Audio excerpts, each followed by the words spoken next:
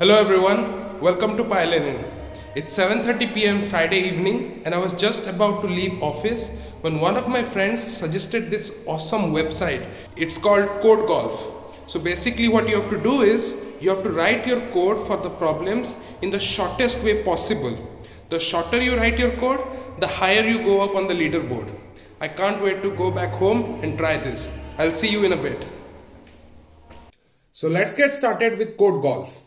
Here, let's go to the Code Golf website. Alright, so here you can see these are all problems. So basically you have to solve these problems and every problem has a name. So there is a divisor problem. There's the Fizzbuzz problem that we have solved. Uh, happy numbers, leap years, Niven numbers, Fibonacci, prime numbers. Wow, there are a lot of problems and each of those problems show a leaderboard. So first second third. So i guess this 54 represents the number of characters that they have used to write their code. So the shorter the higher you are on the leaderboard like i explained. Uh, let's go to the first problem yeah? Divisors so basically here the question is we have to print the positive divisors of each number from 1 to 100 inclusive on their own line with each divisor separated by a space and we are going to use Python for this of course. So um, let's write a normal code you know? Let's not worry about characters. Let's not worry about how short we can make them. Let's just write a normal code right now right?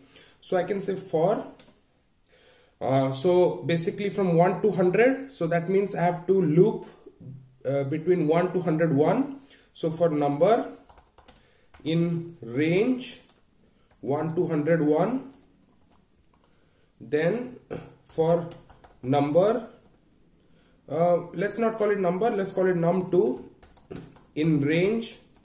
So basically if uh, I am looking for divisors for the number 2 then I have only have to check from 1 to 2 right? So I have to check uh, with 1 and I have to check with 2 I don't need to check from 1 to 100 for number 2 right? So basically that should be our uh, higher limit. So here I can say 1 2 number plus 1 yeah I think that should be it. And then we check if number percentage num2 equal to equal to 0 then we need to print basically uh, num2 right? Right. So let's go ahead and see what happens yeah? Uh, I don't know what's gonna happen. I'm just uh, writing a normal code simple code so if I run this, it says failed because, okay, you can see here, this is the expected output. So 1, then 1, 2, 1, 3. Okay, so we have to, uh, uh, we have to print divisors for each number in every line. So this is for 1, this is for 2, this is for 1, 3. Uh, 4 has 1, 2 and 4. Yeah, that makes sense, right? And I'm printing, okay, I'm printing everything on one line, right? Okay, so first let's make our code right and then we'll try to shorten it, right? So here I can use the end parameter end equal to and I need a space, right? So basically if I run this now, okay, it still failed. Okay, but now everything is being printed to the same line. Ah, all right. Okay. Um, well, one thing I can do here is actually after this for loop so basically for every number we print the divisors and then we move on to the next line right? So basically I can just write a simple print statement here without anything inside it. And if I run this now great. Oh it's actually passing. So now our uh, output result is same as the expected result. Cool man. Nice nice. So now uh, okay. So how many characters? We have used 123 characters right Let's go to the scoreboard. Let's see how many characters the winners have actually. So here, um, wow, all holes. What is that? Oh, okay, we have to choose our own number uh, as in our problem. So ours is the divisors problem and we uh, in languages will pick Python. So basically here you see, okay, the first person has only 56 characters. We have more than double. All right. Okay, so now we need to improve our code. So basically shorten our code so that uh, we reach as close as the highest, uh, uh, the first guy, right? So as close as 56 characters. And here we have 123 characters. Alright, let's see how we can shorten them, right?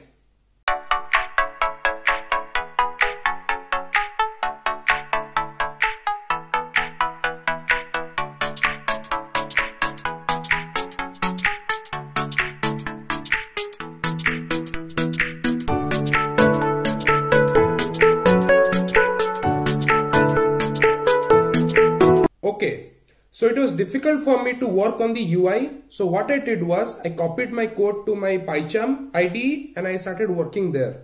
Now one of the things I changed, one of the smallest things that I changed is that we are using variables like number, num2, right? Those take up characters. So I, instead of number and num2 here, I have replaced them with x and y. And now my code has already become 99 characters. So there's a huge change, you know, 123 to 99. So that already improves. And if I run this now, oh, it failed. Why did it fail? It said 1, 2, 2, 1, 3, 3. What am I printing wrong? Ah, I shouldn't print X, I should print Y. Maybe this is going to solve it. Correct. So now it's passing.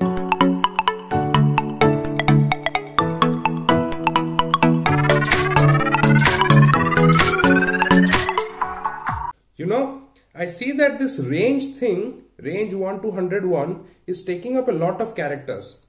Maybe we can change that, improve that. Here, before the code, I can say Z equal to range 1 to 101. And then here I can replace it with Z. However, here I can't replace it with Z, right? So I'm only uh, looping from 1 to x plus 1. So basically the number that is chosen in the first loop I'm looping until then. What if I change it to Z here? I mean, the code will become highly inefficient, but my characters have reduced from 99 to 92 now. And okay, it's still passing, but I'm not happy with this. Uh, my code has become inefficient. We are just looping over unnecessary numbers right now. Okay, maybe we need to change this to some kind of a list comprehension because I've two for loops here and then I'm doing an if statement. I'm printing twice. Maybe there is another way that we can do this without printing twice, without writing two for loops. I think I might have to use something called uh, something like list comprehension. Let's try that out. Yeah.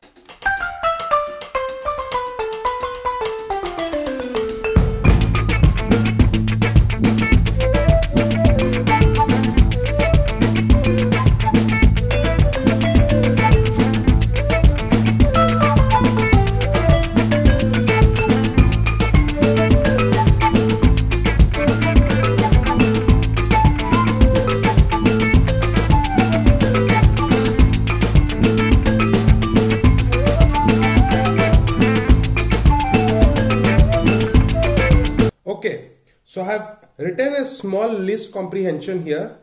So basically I'm using a while loop and I'm trying to print y for y in range 1 comma i. See, I told you about the logic, right? If you're looking for the divisors of 10, you don't have to look for numbers beyond 10, right? So range 1 comma i, if i percentage y equal to equal to 0.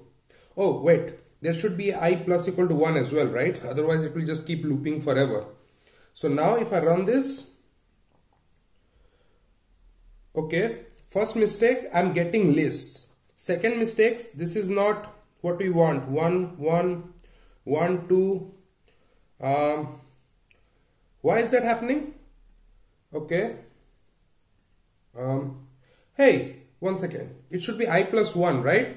Because it's not i is not taken into account. It should be i plus 1 you see such small small mistakes when you're writing code you never pay attention even if you know this stuff you know it's not like we don't know this stuff, but it happens. Mistakes happen. And that's why practice is so important.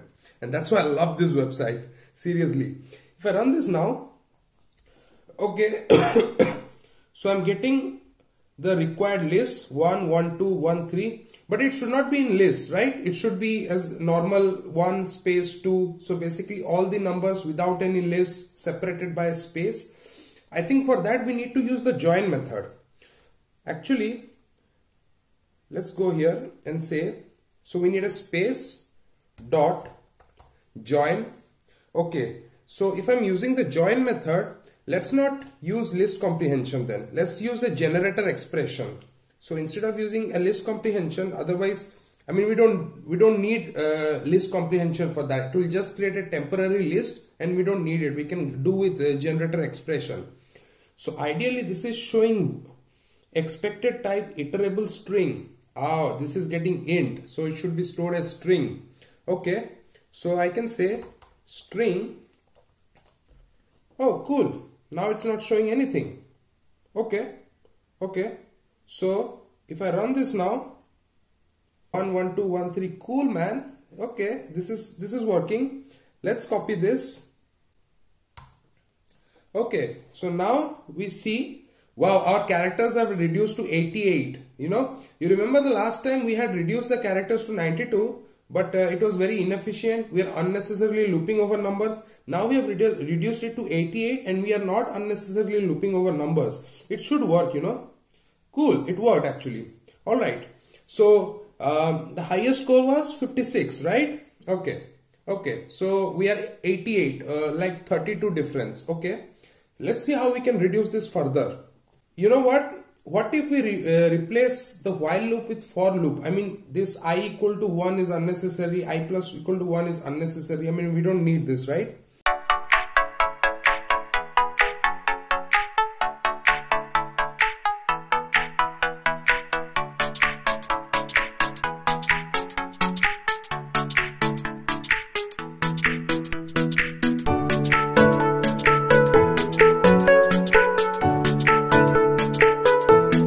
If you are wondering why I'm here, well, I got bored sitting downstairs. I needed my bed. So I've been trying really hard for the last. Uh, oh, this is my dog, by the way, Ginger. Very cute, isn't he? Well, I've been trying really hard uh, for the last uh, half an hour now, but I don't think there is a, a shorter way to do it unless I do it using while loop apparently while i less than 0 I mean I know it requires uh, an additional uh, parameter i and I have to do i plus 1 i plus equal to 1 but then it is actually uh, coming to be smaller than uh, using a for loop. I'll show you what I mean. So now if I run this code oh so now it's passing. So friends for the sake of this video I decided to stop at 76 so basically I wrote a program that returns the divisors of all the numbers from 1 to 100 in 76 characters. The person who is on the first position on the leaderboard has 56 characters. So I still have 20 more characters compared to the first position. However, I feel happy about it. Why? Because I reduced it from 123 characters to 76 characters and I feel my code is still readable, you know. Uh, this is very important that uh, you also keep a, a, check of readability. This is my opinion. I, I know the game is not about readability, it's about writing the smallest code possible. However, I do believe it, it is part of your attitude. I highly recommend all of you to go ahead to this website. The, you can find the link in the description section below and uh, go ahead and try out all the problems and try to write the problems in as small code as possible. You know what? In fact, go ahead, try the divisors problem and beat me on it. I scored 76. Try to score something lower than 76. So you write a code lower than 76 characters and then put them down in the comment section below. Thank you everyone. I will see you in the next tutorial.